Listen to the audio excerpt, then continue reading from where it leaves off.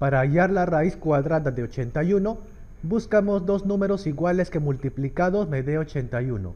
Si ya te sabes la tabla de multiplicar, debes recordar que si multiplicamos 9 por 9, o sea, dos números iguales acá, sale 81. Salió igual, así que la raíz cuadrada es igual a este 9 que has encontrado por acá. Listo. Pero de repente no te acuerdas bien la tabla de multiplicar, así que ahí tiene que ser probando. A ver, primero con un número pequeño, por ejemplo con el 2. Multiplicamos así, dos números iguales, 2 por 2, 4.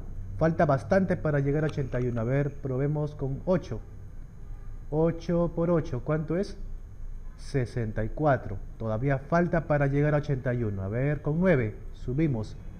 Dos números iguales, 9 por 9, 81. Ahora sí, salió igual. Significa que la raíz de 81 es igual a este 9 que hemos encontrado por acá. Listo.